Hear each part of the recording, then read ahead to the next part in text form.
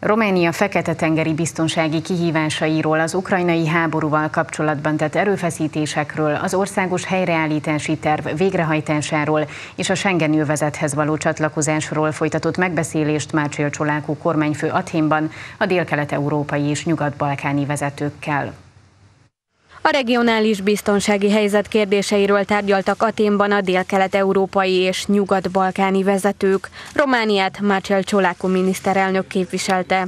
A csúcs találkozón jelen volt Charles Mitchell, az Európai Tanács elnöke, Volodymyr Zelenszky, Ukrajna elnöke, Maja Sandu, a Moldovai Köztársaság elnöke, valamint Horvátország, Szerbia, Koszovó, Bosznia-Hercegovina, Észak-Macedónia és Bulgária vezetői is. Az eseményen részt vett továbbá Ursula von der Leyen, az Európai Bizottság elnöke, akivel Csolákú az infrastruktúra fejlesztésének kérdéseiről tárgyalt. Bemutattam a jelenlegi helyzetet országunk határainál, és amellett érveltem, hogy mivel a körülmények az infrastruktúra fejlesztésének felgyorsítását igénylik, további pénzügyi támogatásra van szükség Románia számára, írta a hétfő esti Facebook bejegyzésében a miniszterelnök. Az aténi csúcs találkozón mondott beszédében továbbá hangsúlyozta a Schengeni térség kiterjesztésének fontosságát, és hogy Romániának minél előbb csatlakoznia kell az övezethez. A kormány közleménye szerint Márcsel Csolákú felszólalásában beszélt a Dunai ukrán kikötőket ért legutóbbi orosz támadásokról,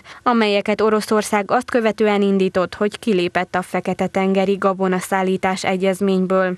Csolák úr részletesen ismertette Románia Ukrajnának nyújtott támogatását és a romániai gazdák előtt álló kihívásokat. Ezzel kapcsolatban a miniszterelnök javaslatot tett egy európai mechanizmus létrehozására, a gabonaszállítás irányítására, valamint további pénzeszközök elkülönítésére az agrár élelmiszeripar és a speciális infrastruktúra fejlesztésére. A résztvevők egyetértettek a biztonságról és a regionális gazdasági együttműködésről folytatott folyamatos párbeszéd és koordináció fontosságában, és megerősítették Ukrajnával és a Moldovai Köztársasággal való szolidaritásukat.